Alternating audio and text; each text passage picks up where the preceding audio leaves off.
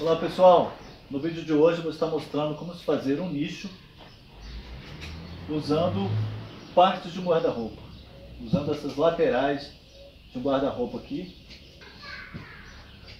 Antes disso eu gostaria de pedir para você que não é inscrito ainda no canal Oficina de Arte e Artesanato, se inscrever, deixar aí o seu like, para nos dar uma força aqui no nosso projeto. Tá? E eu gostaria também de agradecer ao Molina Uniformes e Brindes, deles dois aventais como esse aqui, ficou top, muito bom o trabalho, sou muito grato a vocês. E eu vou estar deixando aí na descrição o endereço deles, o telefone, para você que queira encomendar aí uma caneca, encomendar um avental, um uniforme, um brinde da sua empresa, né? entre em contato com eles. Trabalho muito bem, preço excelente, tá? grandes profissionais. Muito obrigado a todos. Então vamos lá ao vídeo?